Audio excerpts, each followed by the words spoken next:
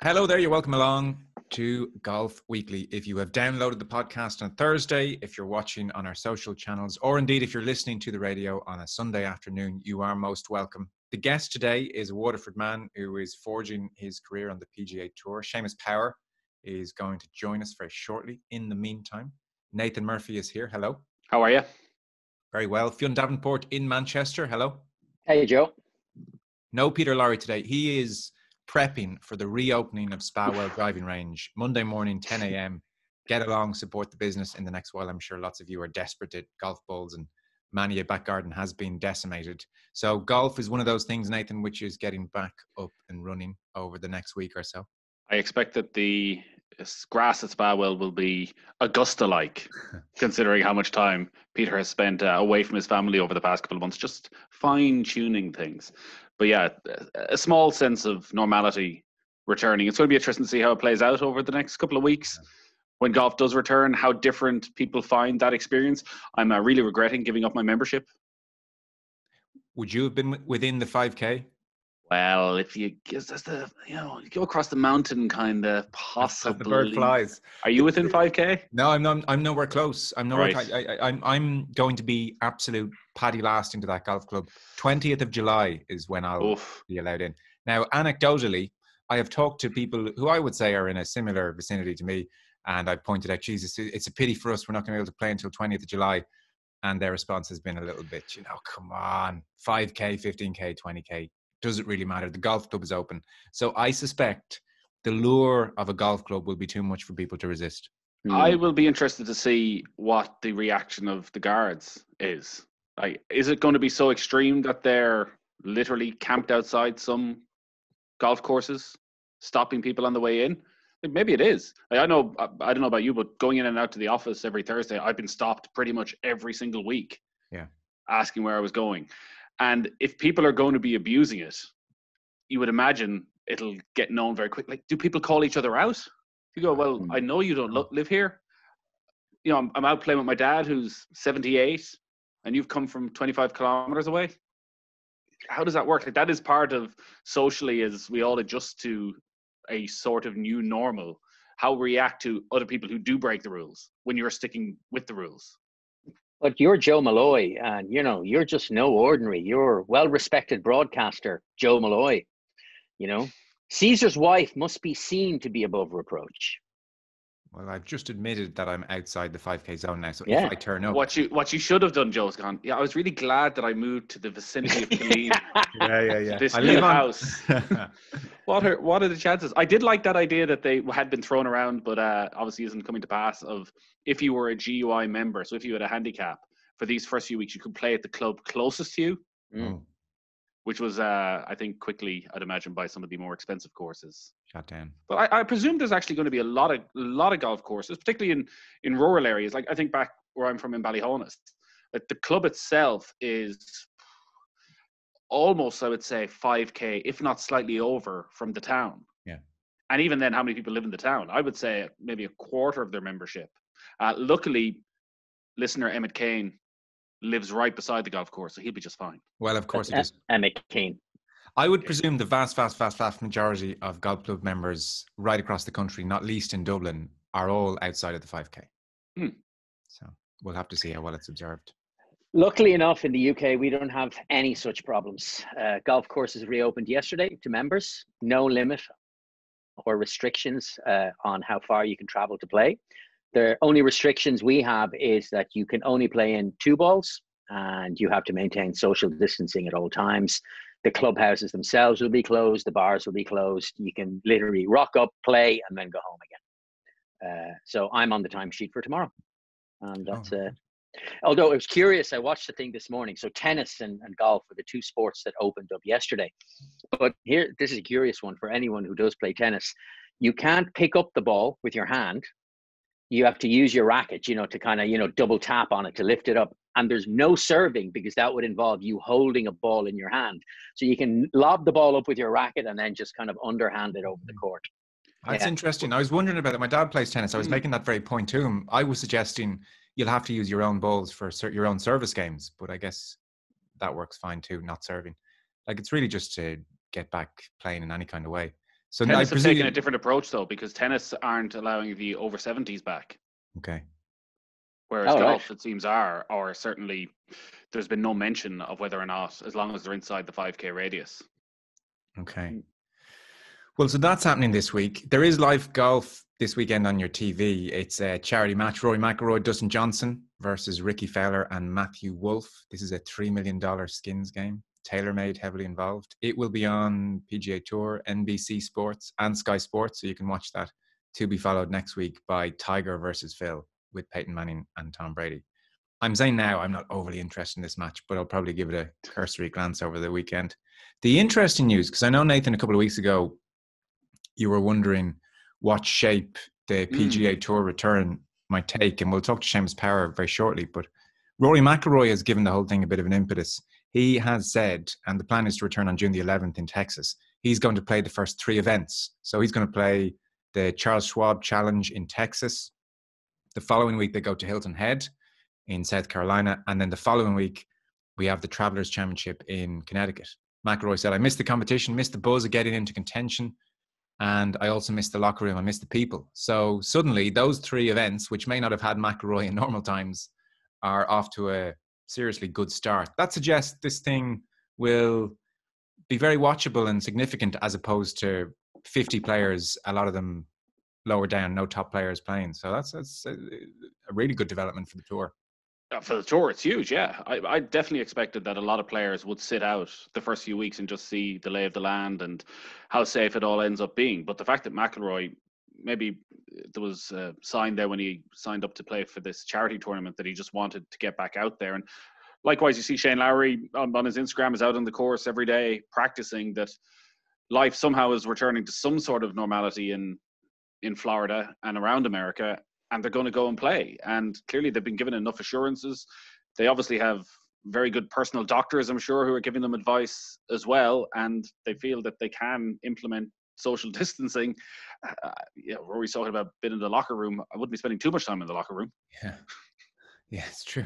Well, it was a good piece in Golf Channel where they outlined how mm. it's going to look. There's a, the players have been sent like a 37 page document with all the protocols so they'll be you know tested when they land on the flight, uh, testing before and during the weeks. All the players will be asked to use one or two hotels for the week. So if you want to stay in a rented house, you need special dispensation. They want to put them all together in a hotel, in effect, have a tournament bubble. And then if you play in Texas and you're going on to play at Hilton Head, you don't travel privately. So a transfer plane has been organized, which will take the players to the next tournament that they're if they are playing on no family, no agents, no early week interviews, no Wednesday pro am. Swing coaches are allowed there, but they'll be at a designated station that you go over and, and, and stand in. Uh, they just sanitize their hands after every hole, all of this sort of stuff. So they, it's fairly detailed and comprehensive. And if you if you test positive at any stage, you uh, withdraw from the tournament immediately and you finish in last place, and that's how they're going to go about it. Yeah, what is the acceptable level of collateral damage?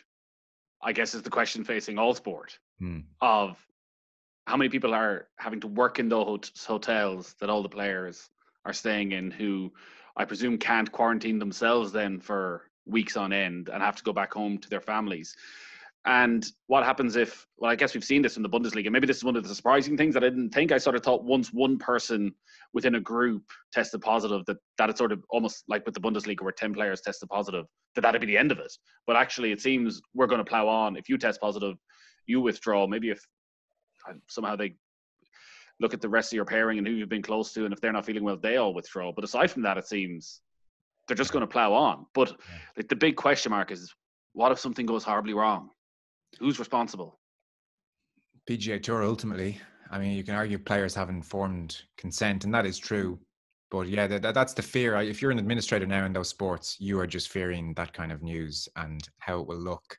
But it's not the players. Like it's not the players. The players are probably best positioned because of their wealth as much as anything else to isolate themselves from as many people as possible and come into contact with very few people. There's just an awful lot of people around who are going to have to work in this who mm. won't have that luxury.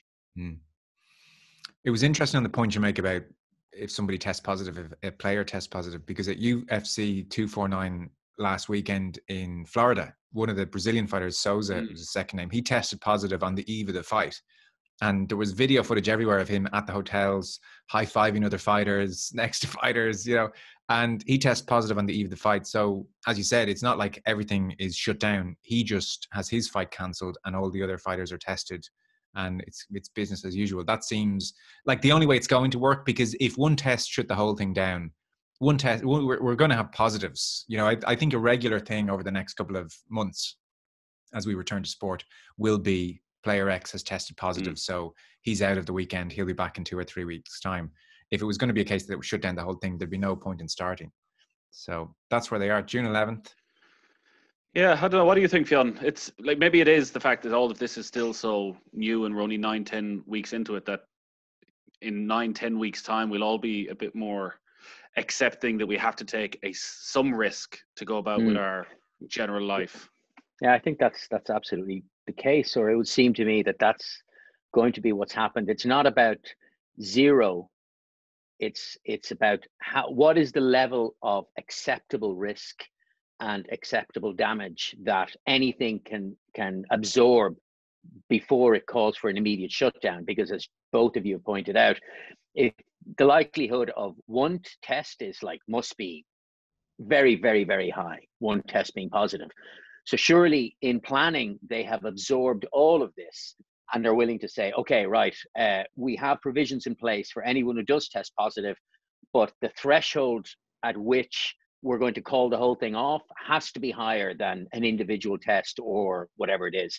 And and that kind of uh, particularly in the US when you look at what the I was going to say the prevailing attitude, but it's not really the prevailing attitude where you still have a majority in favor of lockdown restrictions, etc. But there is this massive impetus uh, to kind of start cranking up the wheels of this economy. And you know, in, in strictly sporting terms, the PGA is this is the economy of the PGA. They have to start getting tournaments up and running, and otherwise they lose all their income. The sponsors get tons of money, uh, don't get anything return on their investment. So all of these things matter. And to go back to the earlier point, I wonder if I mean, of course, each individual golfer is is, is self-employed person, so it's up to them whether they want to play or not. But I wonder um, whether there was whether the PGA leaned on some of the top stars and said, "Look, it would be brilliant mm. if you could be part of this early start because we need like as Joe as you pointed out, it's not much fun watching an event with like the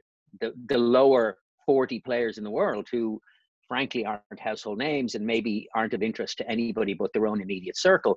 So if you have one or two big names starting in these early tournaments, it's it's it helps kind of push that tournament into into the foreground. So yeah. Uh, the the other side is as hopefully this does resume and goes okay, and we can get towards potentially some sort of major championship season.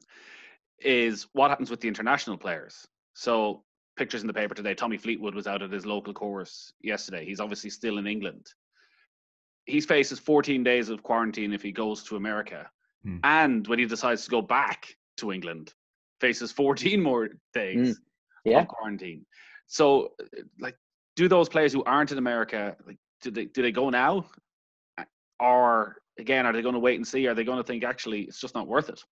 I don't want to be on um, we we talked about this last week and at the time now as we all know is everything changes day to day you know the reality is shifting all the time but that the pga have calculated um, that of the international players that aren't you know, fully resident in the US is surprisingly not a huge number of them. I, I can't remember the number, but it was like, you know, I think it was like 30 players or 40 players or something like that. Tommy Fleetwood being one of them.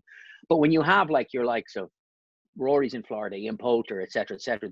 So there are still a big chunk of international players who are based in the US. And so that the the effect isn't the impact rather isn't going to be as dramatic as perhaps we thought beforehand. Well, let's talk to a man who's on the front line, in effect, when it comes to this story. Seamus Power is going to join us in just one second, PGA Tour uh, player with us in just one moment. So, as mentioned, Seamus Power joins us. We know you're stateside, Seamus. Uh, where in the world are you? I'm in South Carolina at the moment, staying in the old warm South Carolina. I was uh, golf is, has been deemed an essential activity in that part of the world, hasn't it? You actually have been able to golf during this whole crisis. I have. It's been so like I live in North Carolina most of the time, and yeah, it was one of the the, the, rules in the in the US are funny. Yeah, it, it was it was deemed essential, um, so it stayed open. Every courses and stuff made some changes, like you you know you weren't touching the pins. They would uh, a lot of the courses had like like uh, styrofoam stuff in the cups. Your ball kind of stayed on top, and you just pick it up and away you go. Um, but for the most part, it was open and kind of not a problem, which was, um, I mean, it's great. Like other states, even down here in South Florida and California and different states over here, closed golf courses. But I was lucky in North Carolina, um, so I was able to stay nice and busy kind of throughout all this. We were talking to Shane Lowry about five, six weeks ago, who's obviously in Florida, and he hadn't picked up a club in in weeks at that stage. I know he's back out in the course now. Uh, there's part of you thinking there's a lot of golfers who want to play a lot of golf and might be a little bit rusty going back, and you're just going to be cruising on through when the PGA Tour does return. Yeah, I mean, I mean, I, am I'm definitely lucky that way. Um, but yeah, I mean, yeah, they were shut down for a while. It's yeah, I mean, it, it's it definitely could be. I got some really good practice done, but there's still enough of a gap. I think where guys will be okay. But then I did see last night that in is it Los Angeles County or something? They extended the stay at home by three months or something. So I don't know if there's anyone stuck there. That's obviously going to be a tricky thing. But no, I, I think I said I, have definitely been more fortunate than most guys. Um, I mean, I said I've been practicing away like crazy, been staying sharp, um, and like I'll definitely be ready to go when time comes. But I, am sure, I'm sure, like Shane, I mean, it, it's like another off season. Three, four weeks to get ready was more than enough for most guys. How has North South Carolina fared with COVID? I mean, it's interesting. It's not as shut down as other places. Has it been badly hit? Are the numbers really high, or is it is it come out no, relatively no, unscathed? Relative, like, I mean, relatively unscathed. I guess. I mean, still, um, I don't know. I think in North Carolina, the number of cases was maybe fifteen to fifteen to twenty thousand type thing, but not too bad. I mean, like Charlotte, the city I'm in. I mean, the greater Charlotte metropolitan area is 2.2 or 3 million people. Um, and North Carolina would probably has more people than it does in Ireland, even. So it's like not too bad, mm. at least compared to.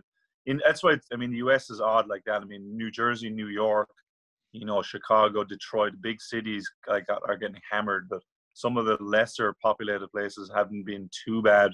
But then, you know, this whole thing, I don't think anyone seems to know. Like it still seemed rather early to get everything up and running again but I mean that's from I obviously no idea what's really going on. So um, I, I, don't know. I mean, for the most part, it's been okay. I mean, I only know. I mean, I, I don't know if that means anything, but I only I know one person that got it kind of in the Carolinas. Um, so it hasn't been as widespread as, as other areas, but obviously still feeling the feeling the effects of it. Yeah, it's a very strange time. So we were just talking there about the return to PGA Tour action June the 11th in Texas. Are you going? Are you playing? I, I won't. It doesn't look like I'm getting in there. So it does. The first two I don't look good for. So the first one's in Texas, in Fort Worth, and the second one's in Hilton Head, South Carolina.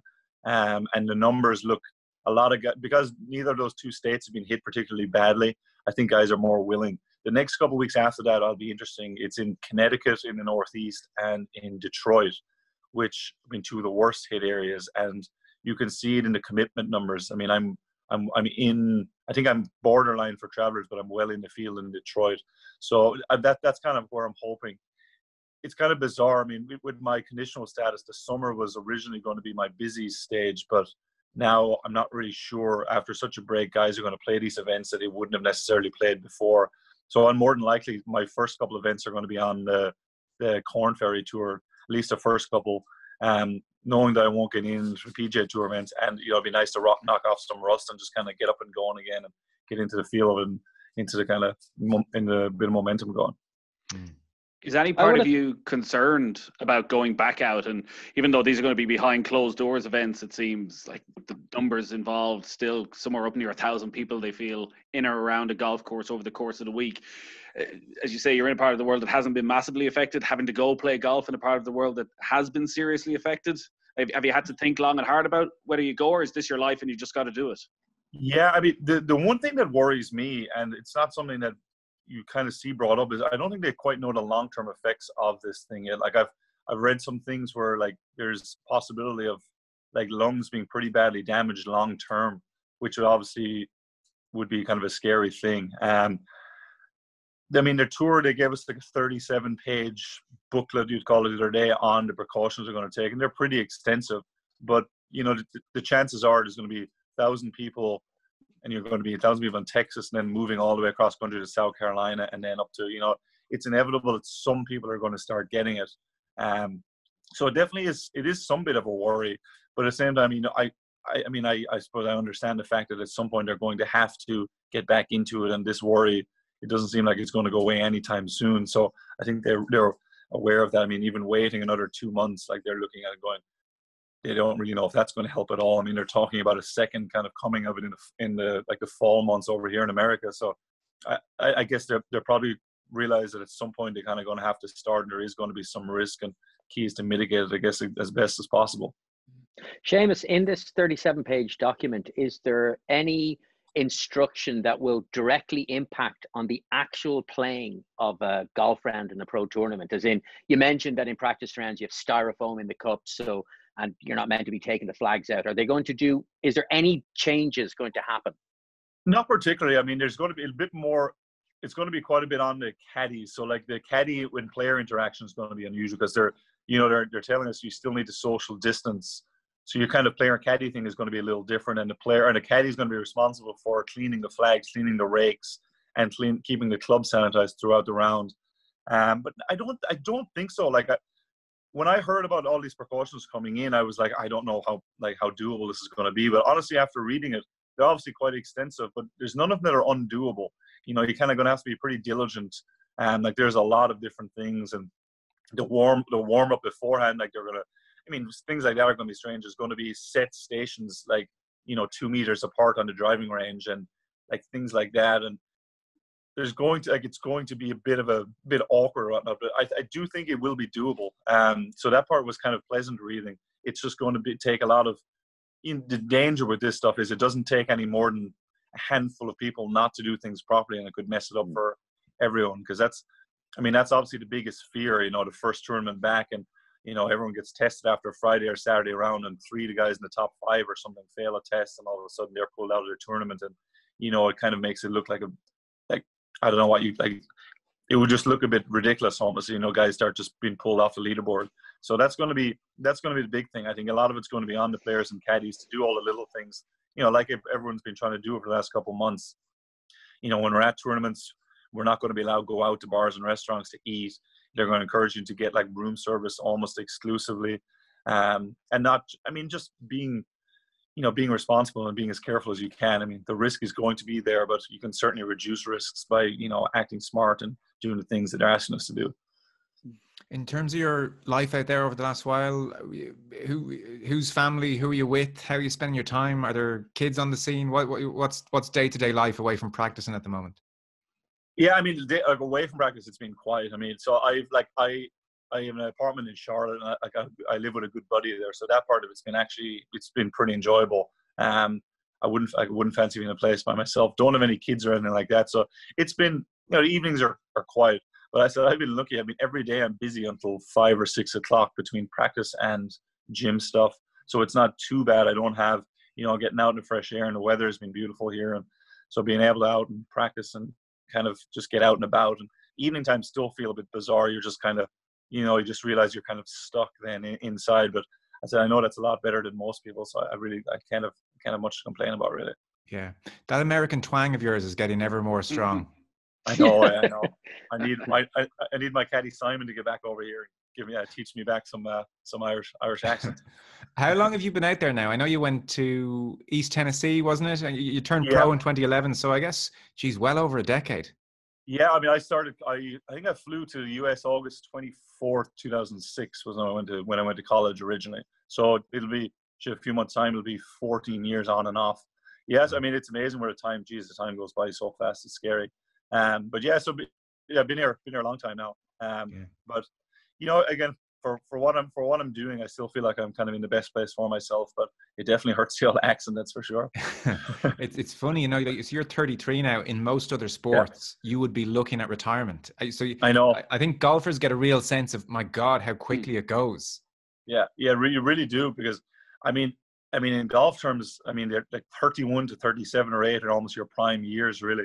And as you said, in most sports, 33. Or, or like some teams looking to push you out the back door at 33, and you're like, but it, it's it's just different, you know. Like if anything, I feel better now than I have. I mean, you just learn so much about kind of what you need for golf, and it's just it's not the same as other sports where you need to be, you know, fittest and most explosive to play your best. You know, so much of it is about experience and about your mental strength and stuff like that, which you almost you don't for at least someone like me, you don't really have in your early twenties. You know, some of these kind of like phenom guys seem to have it, but um, it's it's different for everyone. And yeah, so I hopefully got several good good uh, years left of me. Mm-hmm. Are you very much set on the PGA Tour? I know you were back in Ireland last year and you played the Irish Open down in Lahinch for the first time in in quite a number of years. Like, is your life in America, or is there an appeal to coming back to Ireland and, and basing yourself on, on the European Tour for a couple of years?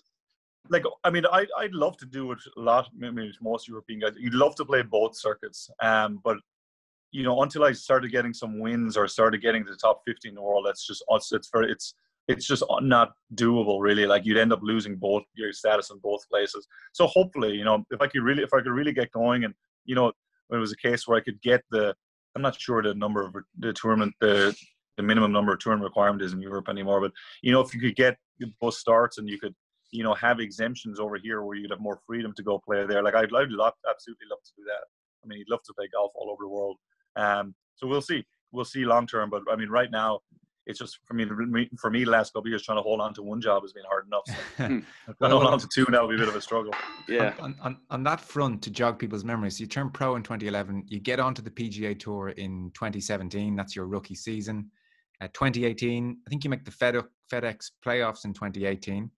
Uh, yes, then yeah, 17, 18 season I did. Yeah. Yeah. 2019 you managed a fifth and a sixth place finish, your best finishes in the PGA Tour, but you finished one, two, six in the standings. So for this year, your fourth year, you mentioned conditional status. Does that basically just mean you take every event that you can get and it's contingent on whether the Rory McIlroys of the world decide to play that week or not? Is that the gig? Pretty much, pretty much, yeah. So I like in my stats, I'll get in all the smaller events like the the ones that you, you wouldn't even have heard of. Like I'll get into tournaments all opposite the majors. There's or most majors. There's like a smaller tournament opposite those ones, and then like this the lesser ones, whatever. Like there's still.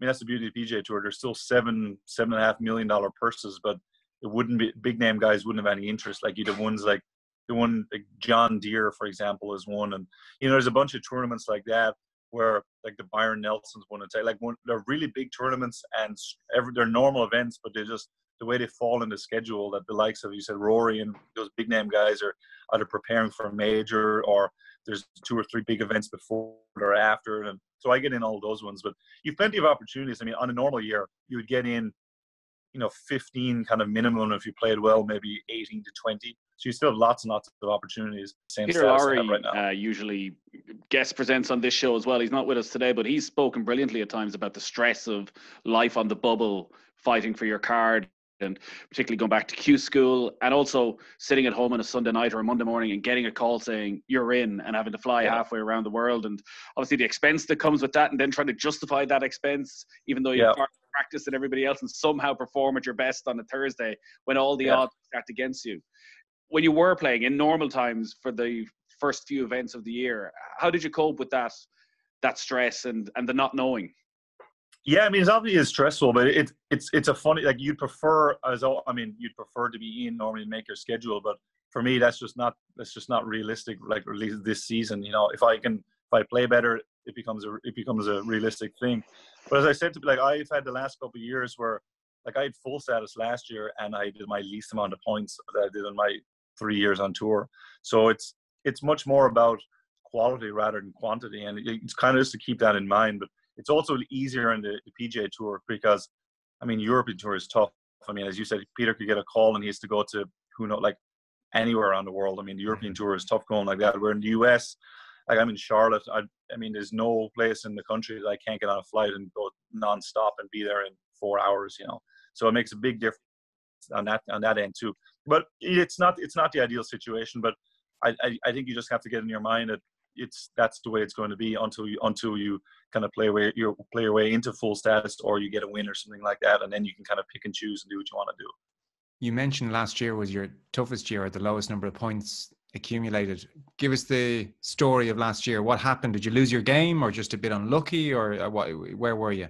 Yeah, no, I just struggled. I mean, you'd love to say a bit unlucky, but no, I just struggled. It was a funny season. I did. I was at a horrible start, like all the way through the West Coast, which is, I mean, probably 12 tournaments in. I played very, very poorly, and then I played kind of decently. The players got me going, and then I had that very good run where I finished um, like sixth, fifth, and 13th, I think, three weeks in a row, which I got the majority of my points for the year. And then the rest of the summer was okay. Like I made lots of cuts. Like I made my last or seven, my last eight cuts or six and last, but I was just finishing, you know, 40th and 45th, and you just don't get enough points doing that. It's just, it's the points are top heavy, and that's you just, you know, one top 10 finish is better than eight events finishing like 40th, you know. So it's, it was, it was a weird season. I just, I had that one little purple patch and I, I did have opportunities in those events to to really make some extra points, but I just didn't. I didn't play very well, to be honest. I I don't really have any grand excuse other than that. I was just struggled, dug myself a massive hole, then dug myself out of it, and but it wasn't able to keep it keep it going after that. So um, yeah, that's why I ended up in a conditional ball. Seamus, can I can I ask you? You changed coach. Was it a year ago? You changed coach. I've changed a couple of times actually. So I ch- yeah, I worked with Justin Parsons starting last February in Riviera. Yeah. I, I, met Justin. I worked with Justin until like this January, and then I actually I switched back to a coach I used when I played my best golf on the mini tour in my first kind of year on the first couple of years on the web on the was the web.com at the time. So I'm just based in Charlotte. I think that seems to suit me a little better when I have a little bit more access to them and it's kind of close by where I can just you know, if I'm struggling a little bit, I can just kind of go over there and have a look for 20 minutes and then kind of head away again. Um, okay. Yeah, it's tough. I mean, you know, I, I always say to people like you know, you never you never want to change coaches, but if you don't feel like it's you feel like it's not working, it's tough when to know when to pull the trigger or pull the plug because you don't want to go too soon if you think it's on the right track. But you mm. also, again, in my boat, like when you're really trying to hold on to your job, you don't want to wait too long. And then, you know, if you wait a bit too long, you really can play or play away out of any kind of status. So it, it's a tricky thing. But no, I, I said it's been going very well at the moment. So I'm kind of excited now to get back into it. Can I can I read you a quote from well, your now ex-coach Justin Parsons, who uh, he said, "It was a relief to him to discover that some of the puzzling bad shots he was hitting were beyond his control because of his posture, and he's starting to produce some great results." Now, I know you're six foot three, but you're an experienced golfer. Talk to us about what what was it with your posture? Yeah, there, there was a couple of physical limitations that I actually kind of found out, which I was unaware of. Um, I had kind of like a I don't know what you'd call it, like basically as a pretty big tightness, whatever you call it, on the, the left side of my neck and through my left shoulder, which I had. It was only doing certain movements, but it was in particular in the golf swing, keeping my left. It basically was I was losing the ability to keep my left arm fully extended properly. I would kind of like slide my head this like away with my left arm because I, I just I did, could, didn't have the extension with the left arm. Um, and then it was weakness in an area of my right hip where, again, was kind of hurting towards the top of my backswing. But it was interesting. Yeah, it was it was just through some testing. Um, I tried to do I tried to work on a couple of moves I just couldn't seem to make any headway with. And then you know once I identified the physical stuff and did some work on it, they almost started falling into place without work without actually doing any work on the swing side of it. So it was, it was quite a relief actually.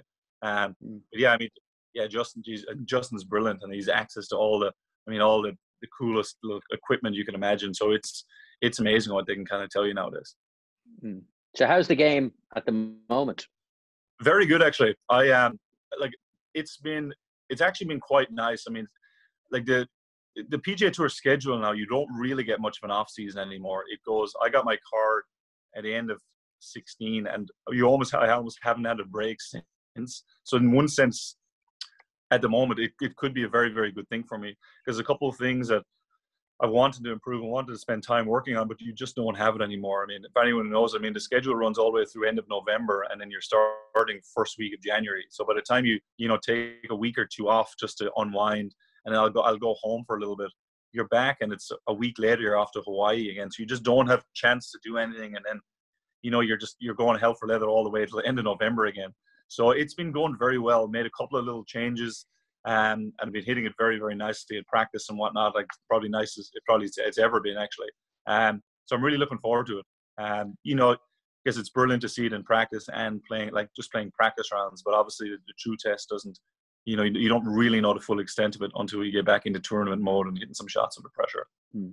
When you look Is at the players, sorry. sorry, Phil. When you look at the players who were 50th and 60th, say in the FedEx Cup rankings, who are comfortably enough holding on to their cards, and, and where their game is and, and where your game is, like, are there things you can identify that they're doing that you need to try and replicate that, that would help you get to that level? Yeah, I mean, oh, you you've got stats for day, stats mm. absolutely for everything nowadays. It's funny, like it. But it all it all seems that, when you look at the stats, there's very actually it's very minute between say fiftieth and 126th. Yeah, it re- it really is, and that's. But you have to. I mean, so I've been losing.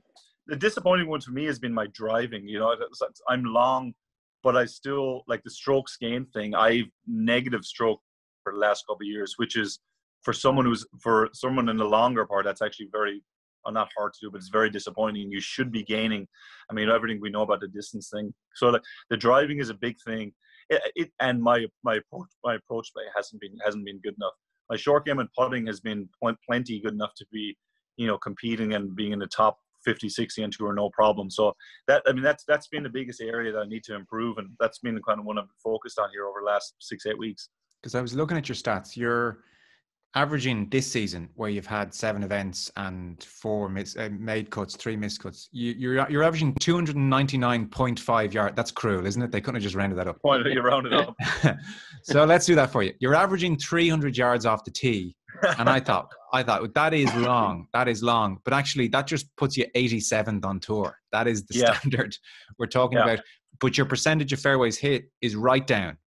It is poor, yeah, yeah, and that's where I mean, that's where the strokes like if you like you're in it, yeah, it just it's just it just hasn't been good enough, and I've been losing. I said strokes versus I mean just like you see, I know it's obviously Rory's probably the best driver of the ball in the world, but Rory starts a given tournament eight strokes ahead of the field on driving alone, which is absolutely remarkable. Um, but that's, I mean, that's obviously the standard you're looking for. But someone who does it, even someone who's hitting at 300 yards, you, you should be in the plus in, in strokes gained but obviously the accuracy hasn't been there and it's really been hurting and and then it just all feeds from there because you know it's hard to get the ball as close to the hole when you're in the rough. It's hard to and then it's hard to, it's hard to make birdies when you're when you're further away from the hole. It's just i mean it's just simple kind of yeah. It's, it's just a knock-on effects that makes a massive difference. It's very interesting because of late, the way it's been talked about on tour, it's that almost uh, distance is everything. Players don't really care if they're not on the fairway, as in the crowds are standing on the rough half the time anyway. So just bomb yeah. it and then gouge it onto the green, and that's talked about as almost the way to play modern golf.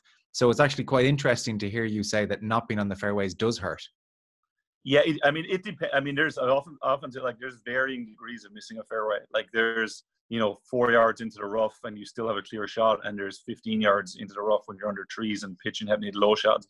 So there is varying degrees, but that is definitely a, a thing. But the the tough part is like if there's so many guys bombing it that on any given week there's going to be 50 60 of them that are going to be hitting it pretty well and hitting a large percentage of fairways.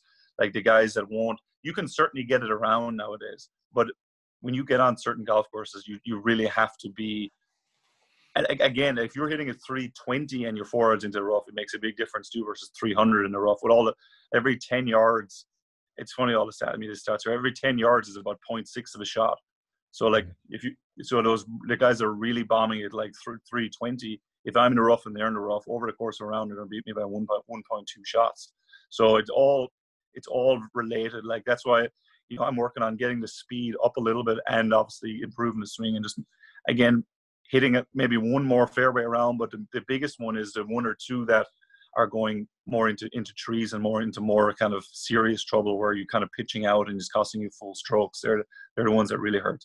Mm. Are are they easier? And by easier, air quotes here, easier fixes than say if your putting stats were worryingly low in that you can get on and you can you can fix whatever mechanics that you need to fix to make sure you make that extra fairway per round and also you're talking about your approaches you famously worked on his wedges inside 120 yards a few years yeah. ago um, but whereas your putting seems really really solid so you must you must go into this feeling fairly confident that you could have a good time yeah i mean i've I I mean, there's obviously you know there's degrees to everything, but I I absolutely think you can. It's easier to improve stuff like that because there is you know putting is a putting is a funny thing where it's like there's a lot like you have to be able to read greens and you have to be able to hit putts at the right speed. It doesn't matter how much you work on your stroke if you can't read the green properly or mm. You can't hit at the right speed, you just don't have a chance.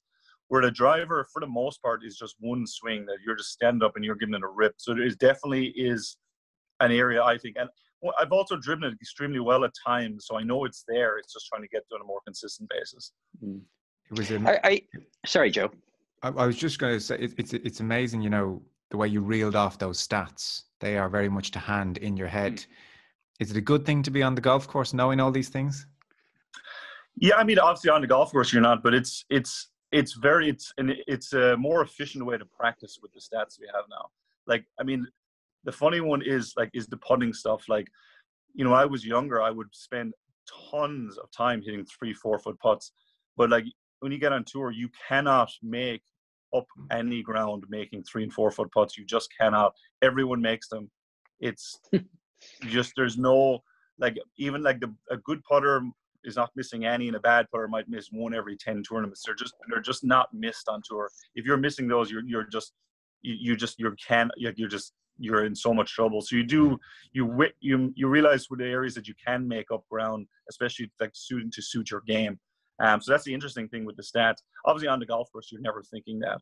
Um, you've, I mean, you've different stats for the golf course, like given that week, but no, the general stuff is obviously it's much more practice orientated. To like, you know, you can look at it after a 10 tournament stretch and realize that, you know, 100 to 125 yards is by far your biggest weakness, and you're giving up half a stroke around to whenever so and so and that thing. So that's it's more used for practice and kind of making practice more efficient. Mm. Are you a scoreboard watcher? For the most part, no. I mean, if I'm, I've often said like if I get late on a Sunday, it only matters on certain golf courses. If I've got a like Torrey Pines, like is a perfect example. If I'm standing an 18 fairway Torrey Pines, I you know it's definitely worth knowing where you stand in, in relation to the lead. But a lot of holes, it just doesn't matter. You know, it, if it's most holes, you're going to there's really only one way to play them. You know, reachable par fives or whatnot might be a little bit of a different different situation. So um, I look at it, but only kind of only when uh, like points are that I think that it might actually benefit me. Do you think? Um, sorry, sorry, I was going to say. Do you think? Um, I, I, don't know how relevant this is in any way at all, but that scoring will be higher when golf returns when there's no supporters. When you're going back to your difference between five yards and 15 yards, that particularly for those marquee groups, there isn't somebody to suddenly uh, the ball magically reappears. And also, you'd wonder is the, the adrenaline level going to be there, say on a on a Sunday down the stretch of a tournament when there's some polite applause potentially if you hit yeah from the cameraman. Yeah. It, I, I think it'll be interesting. Like for someone like me, I don't think it's going to make a massive difference. You know, I'm like, you know, uh, most tournaments, if I'm not up near the lead, I only have a handful of people anyway. But I think for the likes of Rory or Tiger or these guys, it's going to be a bizarre experience. I mean, I mean, I remember playing golf with Rory in the south of Ireland or, close or the close, and he would have a thousand people follow him. He probably hasn't played a competitive round of golf without a lot of people following him in I don't know, like 15 years. So I think it'll be different for someone like him. And I mean, Tiger over the years looks like he feeds off crowds like no like no one else. I mean, I, I think it'll it will be a part of it. Um, yeah, I mean, and you see those bigger name guys, you hit it and they hit it, and somehow their ball seems to ends up in most seems to become to more favorable positions because it hits someone and stops or does kind of things like that. So we'll see. I, I, I don't know. I think it for the first tournament, you know, it could be a little strange, but I think guys will adapt pretty quickly.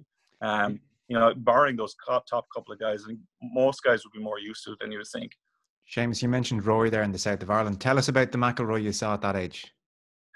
Yeah, I mean, I I, I used to describe. I remember I had this conversation with my dad. I, I, I would play with Rory, and I often thought my like my own game. I, I played with him at the South one, or sorry, the, the close at European club.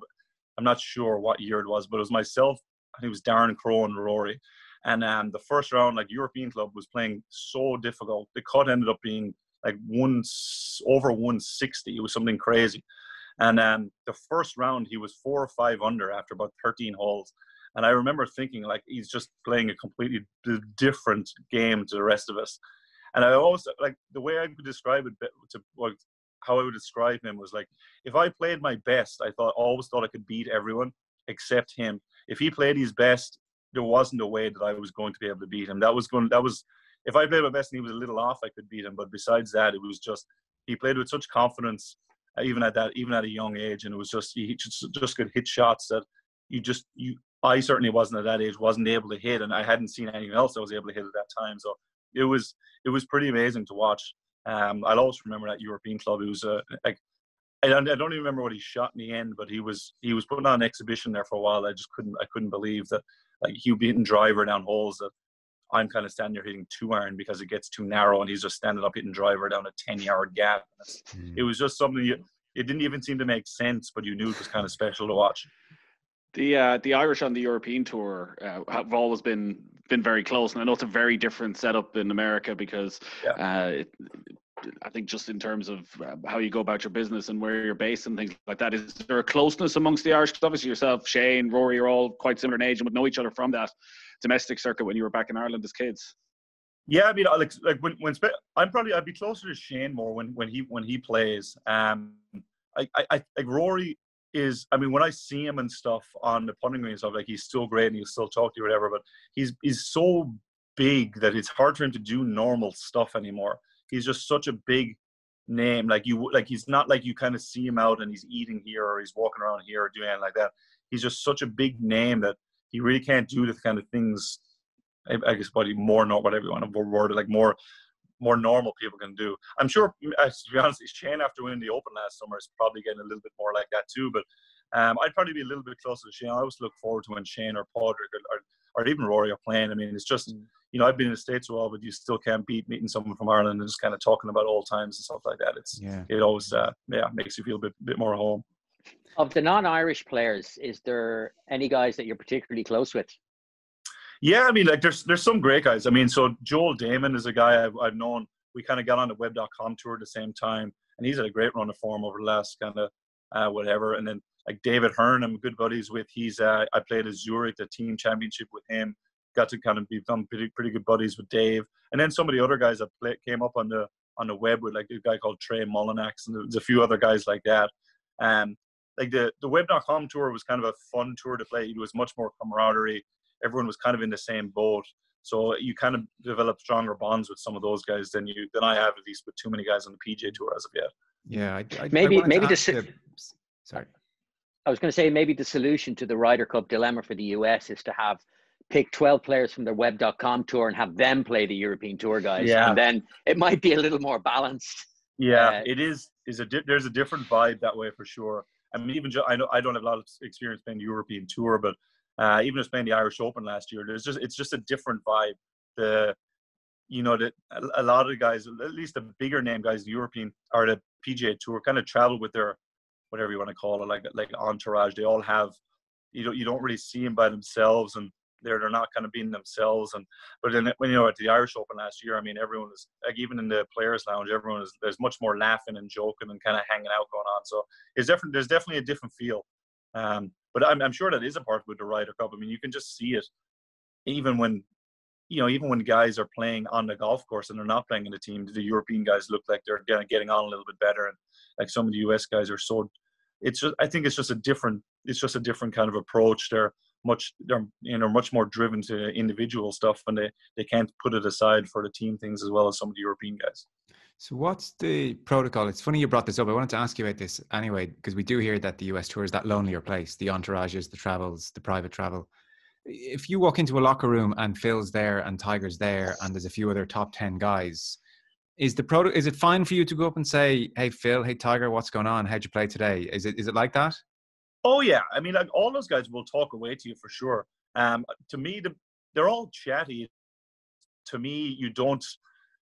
A lot of the conversations just seem to stay kind of at that like that top level. There's no real depth to a lot of conversations. There's no, there's not the same. At least, I mean, obviously, I like maybe to me, like I'm an Irish person, so I, I like they, you know, probably view me as an outsider. I, I don't even know, but I, that's that's kind of the difference. And I think that's just like it's you know, we grow up, we play a lot of team golf. Like, you mean, when I grew up, like one of your big goals is to make the Munster team and to make the Irish team and stuff like that. And it, that's not the same deal. You know, even making Walker Cup, it's a huge deal at home. And you would ask some guys over there, and they're like, they don't even know when it's on. Like that sort of like it's just not the same.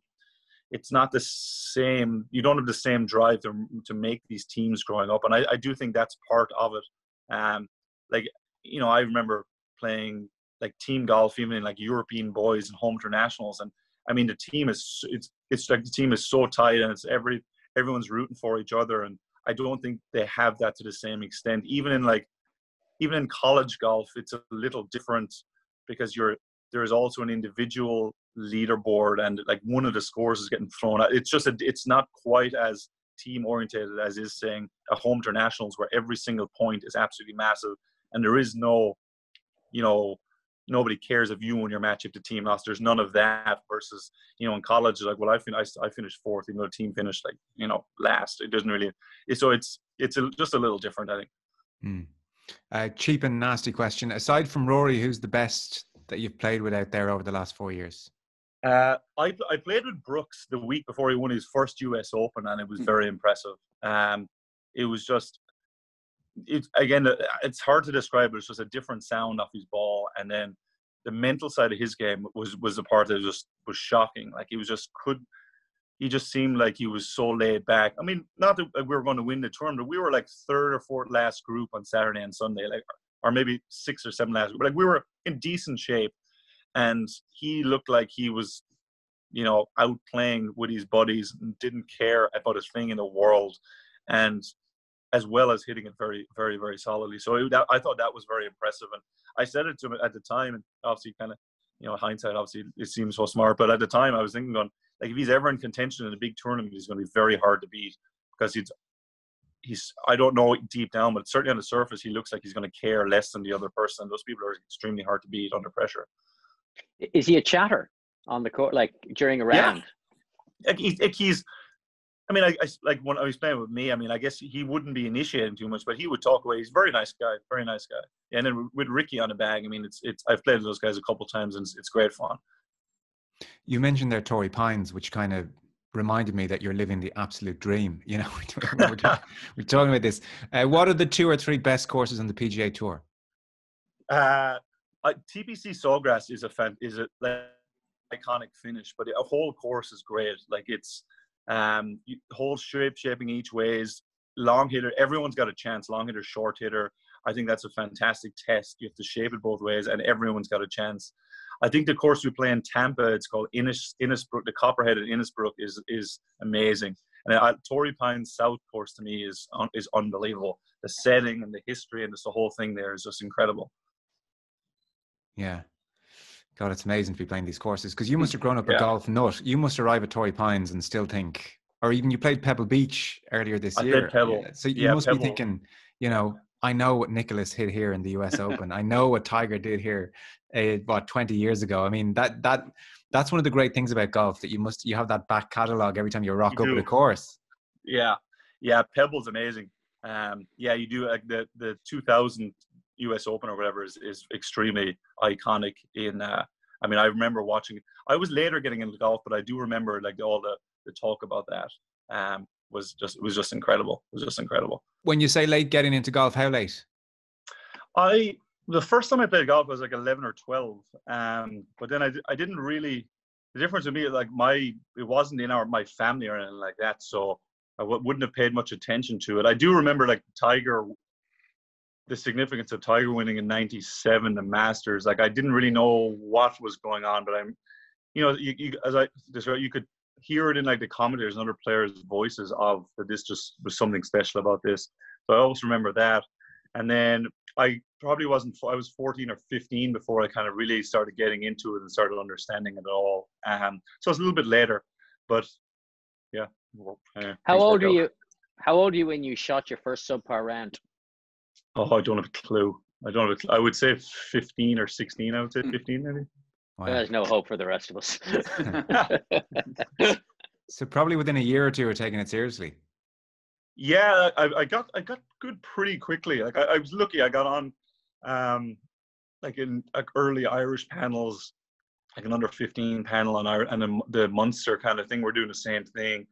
So I was introduced to people who were kind of helping me along with coaching and that sort of thing. So it was um, that helped that helped me a lot. Right. And did, did someone coach you to get good enough to do that, or did you just go out and play around yourself? No, I mean, like I, I started I, uh, my first like David Hayes is a is a PGA pro in uh, Dungarvan Golf Club, and we he would he had group lessons at a driving range. I remember going there, and then I, I remember I went to first person who got like like proper lessons was like uh, Don McFarland in East East Cork Golf Golf Club, and then when I got into the Munster thing, like I got a lot of lessons for years from Fred Toomey. Um, but yeah, that was kind of yeah. So just got good quick. So like first couple of times you hit a driver, you were thinking, yeah, I, remember I, I, I got the hang of this. The, the first time I played, yeah, I remember I was able to hit it okay. Like I, I played a lot of hurling, um, so I had the wrong, like I had the hurling for a long time. Mm. Uh, well, I don't know how long, but for like for a little while, and uh, so I was able to hit it okay. And my brothers and I kind of started playing around the same time, and we all played hurling, so we could all hit it a bit, but obviously the rest of it was wasn't very pretty. Yeah, we hate you. Hmm. it's true. We're slaving. Um, listen, thanks so much for doing this. It's been great to catch up. We no hope we'll see you pretty soon. So you reckon maybe third, fourth week back when the, the, the big names are putting their feet up, you'll probably be out there and, and trying to get things going again? Yeah, hopefully, yeah. Uh, I'm going to play the Korn Ferry the first couple of weeks and then kind of wait and see. I like. There's so many unknowns. I think there's still there's so much. Let's. Uh, I'm going to just let's see. Um, I think a lot of guys are maybe going to watch from a sideline for a couple weeks and see how it all goes and then kind of decide. But um, yeah, hopefully, hopefully the third okay. and fourth week we kind of get going and get cracking again. We wish you well. Let's check back in at the end of the season. Seamus Power, thanks so much. Brilliant. Thanks, Buzz. There we are, Seamus Power. So that's nice to actually chat up with him properly. Nathan, I'm sure you've had the same experience I've had on off the ball, whereby the cell coverage in the states is dreadful. So anytime you do speak to him, it's ten minutes and yes. not a great chat. It's actually great to do that, and look forward to watching him now. Hopefully, go well over the next few weeks. Yeah, yeah. Hope he gets the chances, and he probably will because as he's saying, a lot of players are going to probably skip more tournaments than he ordinarily would, and that when he does get his game, that he that he takes it because he is he is a player who generally has good rounds in tournaments. It's just probably that little bit of consistency that all those players that are on the bubble um, seem to struggle with. It's incredible how every player we talk to talks about Rory, just been so much ahead of everybody else. Hmm. Yeah, mm-hmm. I know hitting shots I couldn't even think of hitting. I wish, I wish, I wish I'd been at one of those West of Ireland's or South mm. of Ireland's. A thousand people following him. I've never gone to watch one of those. Uh, even when we were in Lahinch last summer, I was thinking it'd be a lovely thing to come down and do. a watch a South of Ireland or a West of Ireland. I must do it sometime. I was, at, I was at a West of Ireland in was it Rosses Point one year? Rosses Point, yeah. When I was working in Galway, there was uh, somebody from Galway was in contention. I remember getting sent up to it. It's a very nice, chilled out. Yeah. If the weather's nice scenario. If the weather's nice, well, like watching golf anywhere. Yeah. If the weather's nice, it's a beautiful thing. Uh, Rory has a big test ahead of him this weekend. How is he going to make entertaining conversation? Considering Phil and Tiger huh. couldn't conjure up anything of interest for the match. Dustin Johnson and Rory McIlroy. Yeah. Well, yeah, no, that's that's. Yeah, it's not Spieth. Spieth and Rory Spieth, would yeah. be. Yeah. Apparently, Rory and DJ hang out all the time. Mm. I wouldn't have really? paired them together no. as, as natural bedfellows, but apparently they do. Yeah, over the last couple of years, they have started hanging out, living in the same area. So these events are weird. But you're looking at the setup for Sunday night, so it's obviously a sort of skins game as well. It skins a thing over here. Do people? Play, I, I have never with anyone in the last however long, 10 years, I found someone turn around and say, Will we play skins? It just doesn't mm. seem to have be a thing anymore if it ever was here. No, because you might even find yourself playing for a euro a hole or something, and then eight holes in, you've totally forgotten yeah. about how it's all going. Yeah. Yeah. Uh, but it's true. It's, uh, I mean, I've played skins with friends, but only friends who picked it up from playing it in the US. Right. US, sure. Yeah. It, it is the classic friends game in America is skins. Is it? Yeah. So, in short, and I don't know all the rules. You, you, so play, you, have, you, play each hole, and if you draw the hole, the amount goes on. It carries over. over. It, it, rolls over. So it's two euro. If you're playing one euro hole, it's two euro on the. It depends if yeah. So you, you just keep rolling over, rolling over. So I mean, it's kind of an un, a weirdly unfair game where you could keep having holes, uh, or you could win, say, four holes, and then skins rolled over. All you do is win the one hole worth mm. all the money, and you win all the money, and it's like it's a, it's not a it's not a particularly i wonder if it's not that common in our part of the world because it's not really an accurate reflection of how well you played it's just more like you you shone when when the money was high. Yeah, yeah, because you could lo- so you could lose the first four holes. Yeah, and then the next four are tied, and then you win the ninth hole, and you've suddenly got more money than the other guy, despite exactly. beating him at yeah. one hole. Okay. Exactly. Yeah. What they're doing, what they're doing with Rory is, I think it's something like fifty grand per hole, eh, and then the seventeenth hole is going to be worth two hundred grand, and the eighteenth hole is worth half a million. Now, part of this and part of all these charity events, there's very much like a home game side of this. One is playing for one nurse's charity. I know. And the other one is playing for another charity. I don't, I don't think that's a good idea. I don't think a charity wants to be on tenderhooks watching this match. Yeah. I think let's just pick one charity. It's a bit like the chase. It's like the celebrity chase. Like what charity are you raising money for? And it's Yeah. like, oh, um, Yeah. no, I. But and and as we've said before, is just like making sure that this money is going to charity rather than you know the player's pocket is is is an important part of it. But I mean, I don't know. When I sit down to watch it, I couldn't care less about the money. Frankly, it means No, I would. I would, li- I think the fact Rory is involved makes it more interesting. I'd be interested to see, considering the Tiger Phil experience we've had, how dire and dull Oh, Jesus. The- Yeah. is Rory's force of personality strong enough that he can carry this off by himself? Like Matthew Wolff is doing very well to get in there. Very well, Matthew. You've done incredibly well here. Yeah, I yeah, suppose yeah. At, le- at least they haven't tried to build this as here's the smack talk all week and the build up to it. Like Phil and Tiger said, unrealistic expectations. They're they're doing Is- the smack talk stuff again. Is is there a fourth player? or Is it just the three of them? Rickie Fowler. Oh, So Rickie Fowler. It's, Yeah. it's Dustin Johnson and Rory against Rickie Fowler and Matthew Wolff. Oh, okay. We'll watch it. We know Even it. Ti- Tiger and course you Phil. will. Did you, see, did you see Tiger and Phil's uh, banter last week, where Tiger Phil puts on shows the picture of Tiger putting on the green jacket, and then Tiger puts the green jacket over. I'm like, who's winning? Is this not a is this not a draw here? Oh, yeah, you both have He's one. got a green jacket. You got a green jacket. It's like yeah. Uh, yeah. Well, of course, of course, we'll watch it because the other choice is the South Korean league. That's it. oh, the There is Bundesliga is back. else. The Bundesliga is back. Oh, is the Bundesliga back this weekend? Yeah, Are I'll you gonna definitely. wa- Are you going to watch Bundesliga? Like, are we going to do pieces on a Monday night on the Bundesliga? I don't know. we? I don't know. I'll, I'll probably watch something this weekend. I'll watch it out of curiosity. It'll be a novelty. behind- well, I'll, I'll watch it out doors. of what's it like watching it behind closed doors. Because Yeah. I've commentated on games behind closed doors, and that's not a fun experience. Hmm. Yeah, it's tough for the commentators. I saw talk that the broadcasters will give you the option on the red button to have fake commentary played through, but it won't have much correlation to what's happening on the pitch. Is the only thing. Well, you hear everything. I don't, you and Aaron was mentioning this the last night. They did a game last season in the Europa League. Uh, I think it was PSV Eindhoven were playing against Marseille, and Jetro Willems, the new now plays for Newcastle uh, defender, got sent off right in front of the two dugouts on the halfway line, and all the microphones are obviously there. Yeah. Call the referee. He has very good English. It turns out. He's got he's got all the words. All He the Anglo-Saxon all- words. He has all the words, including the c word. No. Right.